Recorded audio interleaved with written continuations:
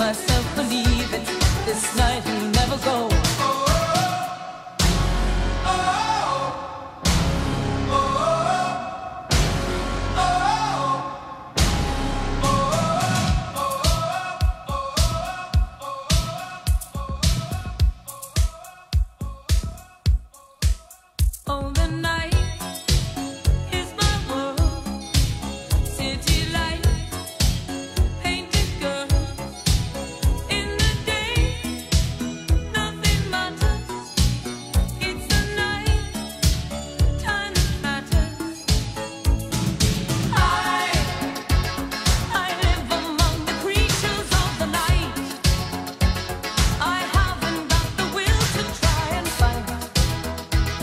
against a new tomorrow. So I guess I'll